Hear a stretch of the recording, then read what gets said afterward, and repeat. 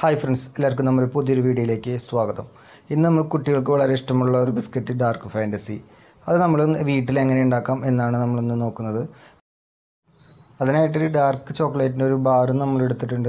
അത് നമുക്കത് മെൽറ്റ് ചെയ്തിട്ട് എടുക്കണം. അപ്പോൾ അതിന് വേണ്ടിയിട്ട് നമ്മൾ ചെറുതായിട്ട് ഇങ്ങനെ ചെത്തിയിട്ട് ആണ് നമ്മളത് മെൽറ്റ് ചെയ്യാൻ പോകുന്നത്. അപ്പോൾ നമുക്ക് പെട്ടെന്ന് തന്നെ മെൽറ്റായി കിട്ടുന്നതാണ്. അപ്പോൾ അതിനായിട്ട് നമ്മൾ സ്റ്റവ് ഓണാക്കിയിട്ട് അതിന്റെ മുകളിൽ ഈ ചോക്ലേറ്റ് ഒരു ചട്ടിയിൽ നമ്മൾ ഓണാക്കി വെക്കുക.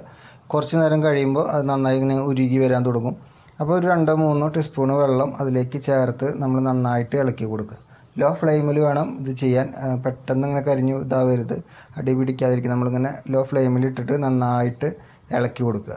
ഒരു രണ്ട് മൂന്ന് മിനിറ്റിന് ആകുമ്പോഴേക്കും അത് ഫുള്ളായിട്ട് മെൽറ്റായി നല്ല പരുവത്തിലാവും. അപ്പോൾ നമുക്കതൊരു പാത്രത്തിലേക്ക് മാറ്റേണ്ടതുണ്ട്. അപ്പോൾ നന്നായിട്ട് ഇളക്കിയിട്ട് വെക്കുക.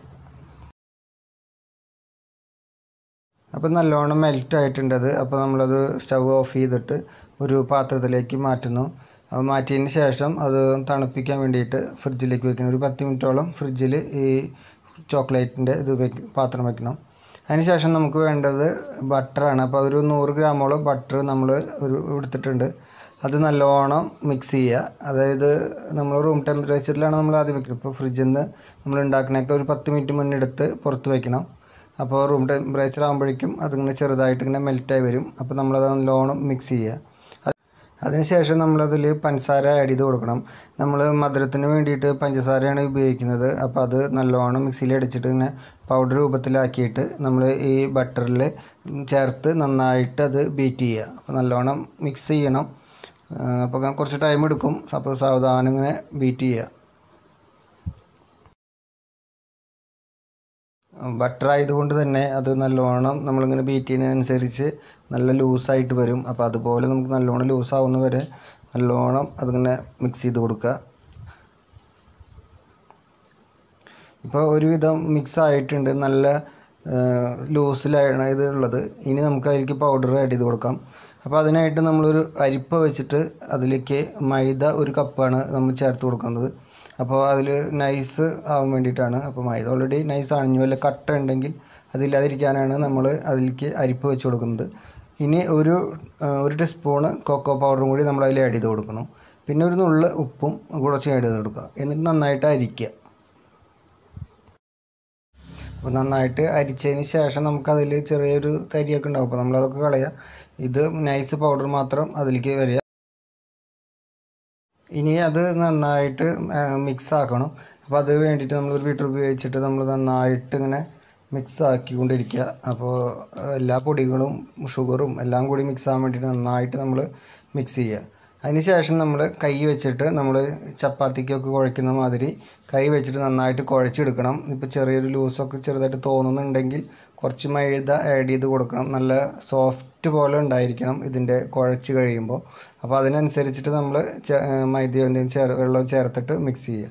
ഇപ്പോൾ കണ്ടില്ലേ നല്ല സോഫ്റ്റ് പോലെ ഇരിക്കും. ഇനി അത് കുറച്ച് നേരം റെസ്റ്റിൽ വെക്കുക. അതിനുശേഷം നമ്മളിപ്പോൾ ഫ്രിഡ്ജിൽ വെച്ചിട്ടുള്ള ഡാർക്ക് ചോക്ലേറ്റിന്റെ പാത്രം എടുത്തിട്ട് അതിങ്ങനെ അതിൽ നിന്ന് നമ്മളിങ്ങനെ ചെറിയ സ്പൂൺ വെച്ചിട്ട് നമ്മളതിങ്ങനെ കോരിയിട്ട് ചെറിയ ബോൾ ബോൾ പോലെ ഉണ്ടാക്കണം. അപ്പോൾ അതിന് വേണ്ടിയിട്ട് നമ്മൾ കൈ കൊണ്ട് ഇങ്ങനെ കുഴച്ചിട്ട് ചെറിയ ബോൾ പോലെ ആക്കണം. അപ്പോൾ അതിങ്ങനെ ആക്കി നമ്മളൊരു പാത്രത്തിലേക്ക് വെക്കുക. അപ്പോൾ നമ്മളിലുള്ള അത്രയും ആ ചോക്ലേറ്റും നമ്മളിങ്ങനെ ഒരു റോൾ പോലെ ആക്കിയിട്ട് പാത്രത്തിലേക്ക് വെക്കുന്നുണ്ട്. ഇനിയുള്ള പണികൾ കുറച്ച് സ്പീഡിൽ ചെയ്യണം. കാരണം എന്താണെന്ന് വെച്ച് കഴിഞ്ഞാൽ നമ്മൾ ഈ ചോക്ലേറ്റുകൾ ഇങ്ങനെ ചെറുതായിട്ട് ഇങ്ങനെ മെൽറ്റ് ആവാൻ തുടങ്ങും. അപ്പോൾ അതിന് മുന്നേ നമ്മൾ അടുത്ത സ്റ്റെപ്പിലേക്ക് പോവുകയാണ് അപ്പോൾ നമ്മൾ ആ കുഴച്ച് വെച്ചിരിക്കുന്ന മാവ് എടുത്തിട്ട് നമ്മളിങ്ങനെ കയ്യിൽ വെച്ചിട്ട് ഇങ്ങനെ നല്ല റോൾ പോലെ ആക്കിയിട്ട് ഇങ്ങനെ പരത്തുക. നമ്മൾ കയ്യിൽ ഇങ്ങനെ വെച്ച് നമ്മളിപ്പോൾ ഈ ചോക്ലേറ്റിന്റെ ഡാർക്ക് ഫാന്റസിയുടെ ഒക്കെ ഷേപ്പിൽ നമ്മളിങ്ങനെ നന്നായിട്ട് കൈ വെച്ചിട്ട് നല്ല ഷേപ്പിൽ ഇങ്ങനെ പരത്തി കൊടുക്കുക. കയ്യിൽ വെച്ച് ചെയ്താലും മതി. അതിന് ശേഷം നമുക്കതിലിപ്പോൾ ആ റോൾ ചെയ്ത് വെച്ചിട്ടുള്ള ഡാർക്ക് ചോക്ലേറ്റിന്റെ ആ റോ കുഞ്ഞു കുഞ്ഞു റോളുകളും കൂടി ഇതിന്റെ നടുക്കിൽ വെച്ചിട്ട് അതിങ്ങനെ കവർ ചെയ്ത് എന്നിട്ട് നമ്മൾ ഈ ഡാർക്ക് ചോക്ലേറ്റ് ഇതിന്റെ ഉള്ളിൽ വരുന്ന രീതിയിൽ ചുറ്റോറം നമ്മളിങ്ങനെ കവർ ചെയ്തിട്ട് വീണ്ടും ഒരു ബോൾ പോലെ അതിനിങ്ങനെ കയ്യിൽ അത് നല്ല സിമ്പിളാണ് നമ്മളങ്ങനെ കയ്യിൽ വെച്ചിട്ട് ഇങ്ങനെ റോൾ ചെയ്തിട്ട് ഒരു ഉണ്ട പോലെ ആക്കുക. അത് കഴിഞ്ഞിട്ട് രണ്ട് കൈ കൊണ്ട് ഇങ്ങനെ ജസ്റ്റ് ഇങ്ങനെ പ്രസ് ചെയ്ത് കഴിഞ്ഞാൽ ആ ഷേപ്പ് നമുക്ക് കിട്ടും. നല്ല ഭംഗിയിൽ ആ ഷേപ്പായിട്ട് കിട്ടുന്നുണ്ട്. അപ്പോൾ അതുപോലെ നമ്മളിലുള്ള അത്രയും മാവും അതുപോലെ ഇങ്ങനെ അതുപോലെ കുഴച്ച് അതിന്റെ ഉള്ളിൽ ആ ഡാർക്ക് ചോക്ലേറ്റ് വെച്ചിട്ട് വീണ്ടും ഇതുപോലെ കുഴ ഇങ്ങനെ റോൾ പോലെ ആക്കുക. എന്നിട്ട് നമ്മളിങ്ങനെ കൈ കൊണ്ട് ഇങ്ങനെ പ്രസ് ചെയ്യുക. അപ്പോൾ നമ്മളുള്ള എല്ലാ മാവും നമ്മളങ്ങനെ ആക്കും. ഇനി നമുക്കത് വേവിക്കണം. അപ്പോൾ അതിന് വേണ്ടിയിട്ട് നമ്മൾ ഓവൺ ഇല്ലെങ്കിലും നമ്മൾ ഓവൺ ഇല്ലാത്ത ടൈപ്പാണ് നമ്മളിപ്പോൾ ചെയ്യുന്നത്.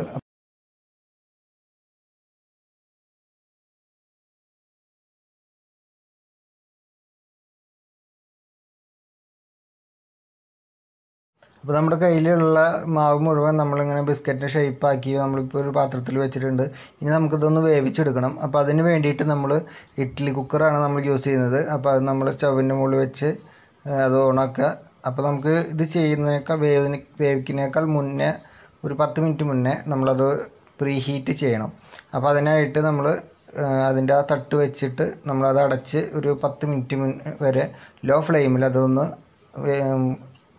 ഹീറ്റ് ചെയ്യണം.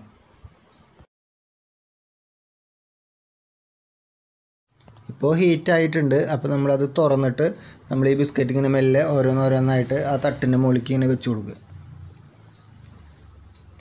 ഇപ്പോൾ നമ്മുടെ ചെറിയൊരു തട്ടായതുകൊണ്ട് നമുക്കിപ്പോൾ ഒരു മൂന്നെണ്ണൊക്കെയാണ് നമുക്ക് ഇതിലേക്ക് മാക്സിമം വയ്ക്കാൻ പറ്റുന്നത്. അപ്പോൾ അത് കഴിഞ്ഞതിന് ശേഷം നമുക്ക് ഒരെണ്ണം കൊള്ളും നോക്കണം. അപ്പോൾ നാലെണ്ണം കൊള്ളുകയാണെങ്കിൽ നാലെണ്ണം വയ്ക്കുക അപ്പോൾ അത് കഴിഞ്ഞിട്ട് അടുത്ത സ്റ്റെപ്പ് പോലെ നമ്മൾ അതും കൂടി വയ്ക്കുക അപ്പോൾ ഇതിൽ നമുക്ക് നാലെണ്ണം കൊണ്ടിട്ടുണ്ട്. അപ്പോൾ അത് നാലെണ്ണം വെച്ചിട്ട് നമ്മളത് അടച്ചിട്ട് ഒരു മുപ്പത് മിനിറ്റ് ലോ ഫ്ലെയിമിൽ അത് നന്നായിട്ട് വേവിച്ചെടുക്കണം. അപ്പോൾ നമ്മുടെ ബിസ്ക്കറ്റിന്റെ പണി കഴിഞ്ഞിട്ടുണ്ട്. അപ്പോൾ ഇനി അത് എടുത്തിട്ട് നമുക്ക് ഒരു പാത്രത്തിലേക്ക് വെക്കണം. പിന്നെ അത് കുട്ടികൾക്ക് എല്ലാവർക്കും കഴിക്കാം. ഓക്കെ? അടുത്ത വീഡിയോ ആയിട്ട് കാണാം. ബൈ.